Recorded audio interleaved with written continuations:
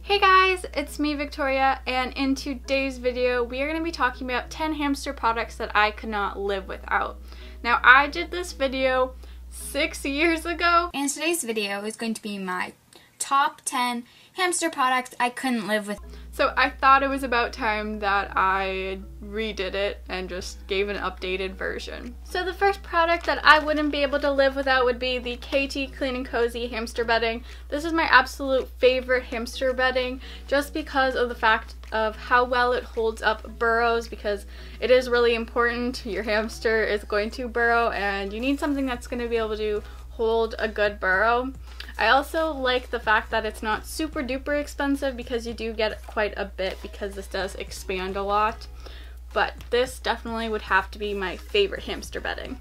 The next product would have to be a hamster treat. Now this isn't specifically made for hamsters, but it is safe and these are the Gerber Baby Puffs. So these are made for babies, but they are perfectly safe for hamsters. All of the ingredients are perfectly fine.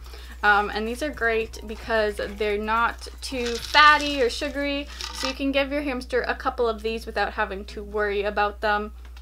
And I dropped one. but these can be found at your local grocery store in the baby section. You just want to make sure you go with a flavor that's safe.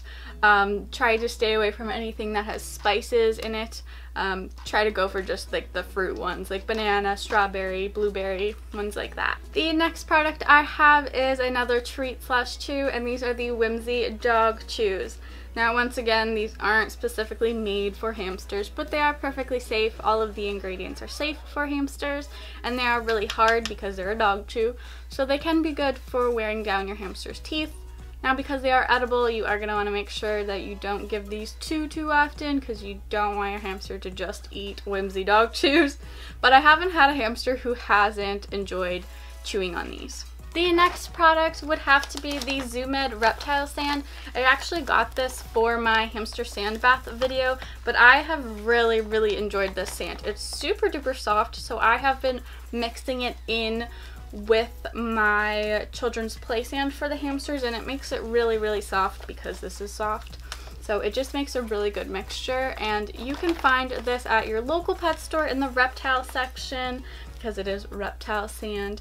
Um, you can also get this on Amazon. The next product is the IKEA Knuff. Once again a product that is not made for hamsters but it is an awesome one for hamsters because this is a magazine holder or file holder and you can buy this and then just boop flip it on its side and this is a really awesome hamster platform and level so you can put stuff on the bottom here and you can put stuff on top I also would suggest just taking a saw and you can saw out the bottom wood piece so then bedding can go through and they can't pee on this wood here. But these are really great and I honestly would recommend them. Next, I definitely would have to recommend bendable bridges. This is a hamster necessity when it comes to owning hamsters. You need to have some bendable bridges because they are just awesome and you can do so much with them. This one actually is from Petco and I think this is the guinea pig size, but this honestly would be too small for a guinea pig in my opinion. But this size is really perfect for Syrian hamsters and dwarfs. So these are awesome. Love these. The next product that I have is another one that's not made for hamsters, but that is grapevine wood, and this works perfect, especially if you're someone who's wanting to try to give your hamster a more natural cage. This is a great climbing surface as well as you can take little treats and hang them off of the wood branches, but these are just perfect and they're great for hamster cages. Um, you can get this in your local pet store in the reptile section. So the next product I have is once again not made for hamsters, but I'm absolutely obsessed with them, and that is cork logs. This is a cork log. Um, it's just like a log that's hollowed out, and this is a perfect natural tunnel for your hamster.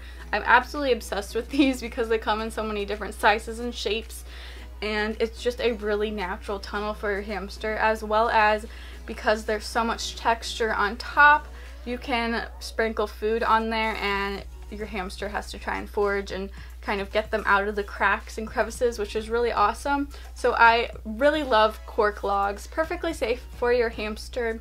and you can get these at your local pet store once again in the reptile section. The next product is a wheel and that is the Silent Runner wheel. This has to be one of my favorite hamster wheels. It actually is silent when your hamster runs in it, unless they put food in it, of course. But this wheel is great because it actually doesn't have one of those axles that sticks all the way through, which I like. So it is easy to clean. You just pop off this front part and you can have access to clean it. But um, it also has just holes in it so your hamster has to climb in. So these are really good for robo hamsters because robos run super duper fast and when they're running sometimes they'll just stop or they can't stop the wheel so they'll go flying but this prevents them from flying out of the wheel. I got this silent runner off of exoticnutrition.com I think it was um, and they're fairly cheap and this is the 9 inch wheel. And the last product I have here is a digital kitchen scale.